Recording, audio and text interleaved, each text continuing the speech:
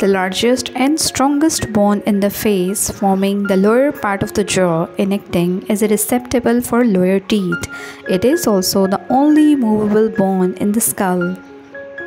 The U-shaped bone, which is horizontal and it acts as a receiver for the teeth of the lower jaw, this bone mandible.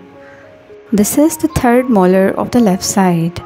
This is the second molar of the left side. This is the first molar of left side. This is second premolar. This is first premolar. This teeth is called as canine of the left side. This is the lateral incisor of the left side of the jaw. This is central incisor. This is also the central incisor. This is lateral incisor. This is canine of the right side. This is first premolar of right side.